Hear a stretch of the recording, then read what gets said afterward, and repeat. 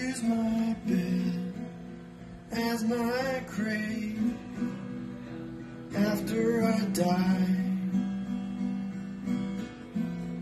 I spent my whole life there, making no plans, no sound, no love, doing nothing good for myself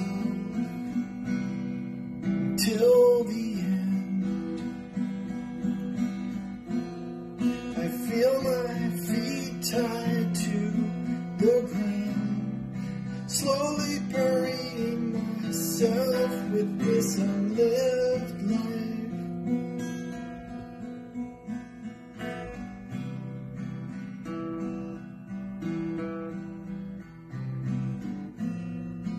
Use my bones as you use the sand.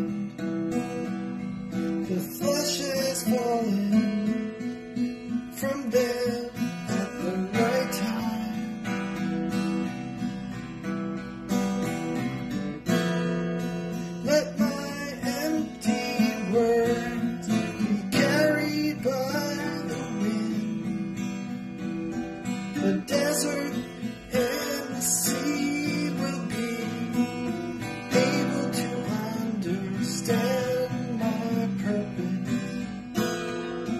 Use my pen as my grave